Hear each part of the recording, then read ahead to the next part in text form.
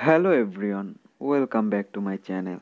And today in this video i'm going to show you how to find a story archive on facebook. So let's get started.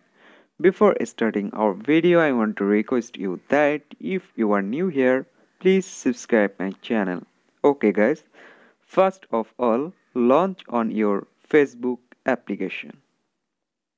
Okay then tap on the top right corner your menu option and then tap on your profile.